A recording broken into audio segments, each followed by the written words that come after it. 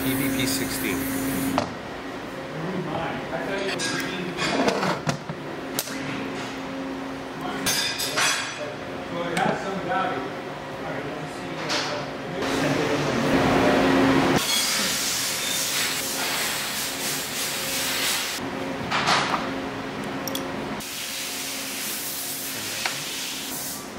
This is gonna pop.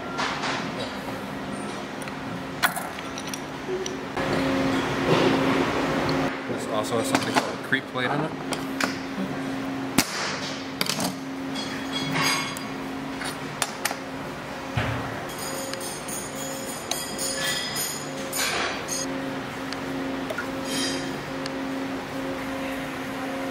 Yeah, it's got two grooves from the shaft seal, so that shaft is no good.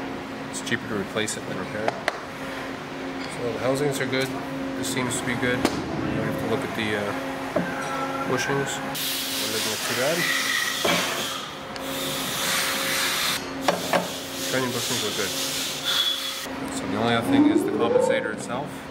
It's always put down as a pawn testing because you can't really see the fine. All it takes is a couple little scratches. It's you can see if it's really bad, then you can just know it is no good.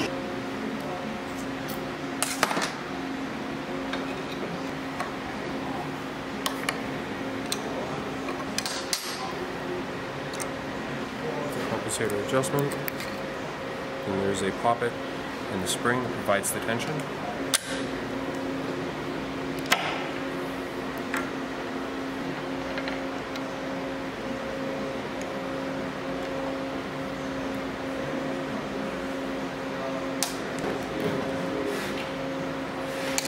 Yeah, if you see any definite scratches, a little bit of wear on it, clean it up and take a closer look. The only other thing which is not a wear item is your max volume stop. So I can pull that out so I'll show you what that looks like.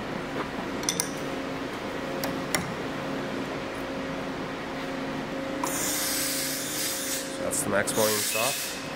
This acts against the main servo piston and this that will keep it from going all the way down. It'll force it up, which will force this to have less stroke, and that decreases the CCs. So say you have an electric motor, putting this at full 16 cc will burn out the motor.